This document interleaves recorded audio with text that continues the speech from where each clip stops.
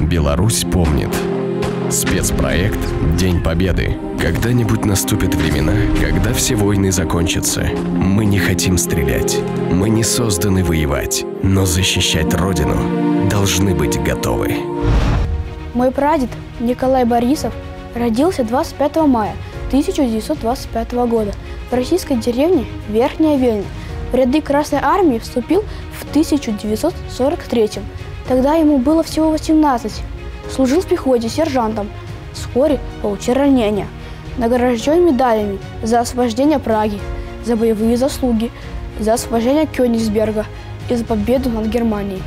На его кителе размещался и орден славы третьей степени. После войны работал механиком на Бобрусском аэродроме.